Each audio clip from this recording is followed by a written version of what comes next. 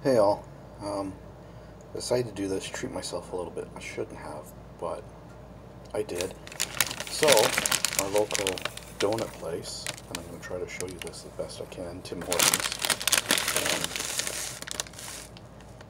Christmas uh, flavored style donut. I'm losing uh, bits of uh, shaved chocolate.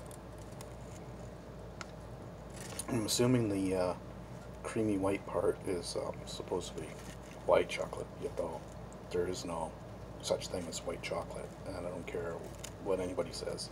It's the honest, actual truth. Look it up. You'll find out, yeah, my hair is sticking out because I'm wearing glasses. Oh well. Uh, they call this the Bailey's. They've been doing Bailey's flavor. So, I'm going to take a bite into this and uh, tell you. I don't know if there's like uh, a cream filling or not.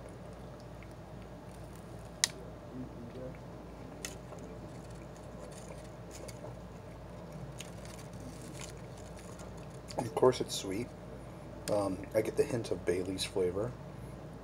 Um, a little bit of caramel, I think as well. Maybe that's where it is.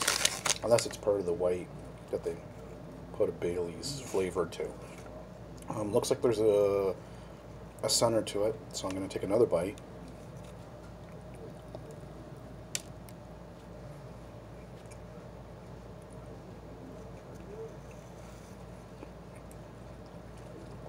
Yeah, put some cream on my finger. And it's kind of like a maple cream. Vanilla.